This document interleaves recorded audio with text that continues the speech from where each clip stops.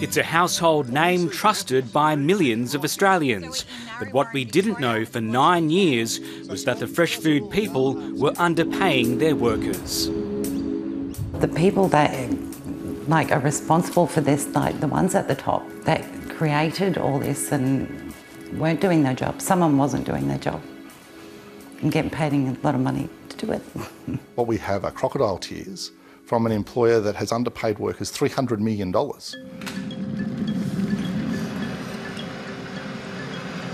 Among them was 48 year old Nadine Smith, who was a loyal Woolworths manager in Ipswich, Queensland for seven years.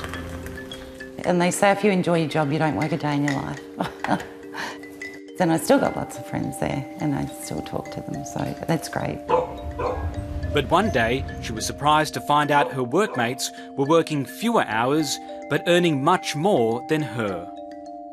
I did question my salary only in the last couple of years because of a team member below me being on the same salary. Sometimes you can be there for 12 hours in one day, so, but you just do it because you're required to. so you just work, you get paid, and you would hope to get paid, well, expect to get paid the right amount. There's no excuses in these situations and an unreserved apology. Do I see this as my number one issue? Yes. 5,700 current and former managers in sections such as the bakery, the butchery, and the deli are affected.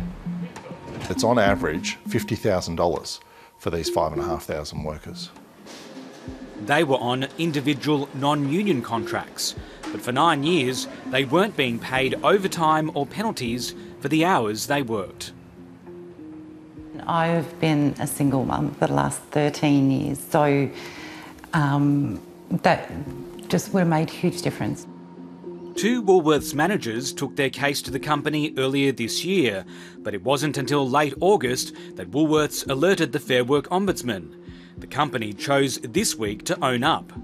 Chief Executive Brad Banducci emerged from Woolworths headquarters in Sydney yesterday, delivering what's become a familiar tune for corporate Australia.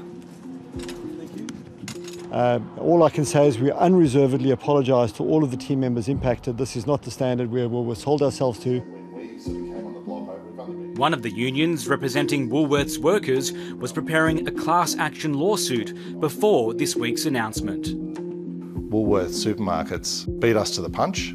It involves a moral blindness and, and it's something that should not be acceptable by anyone in the Australian community. It's far, far past time for a royal commission into wage theft.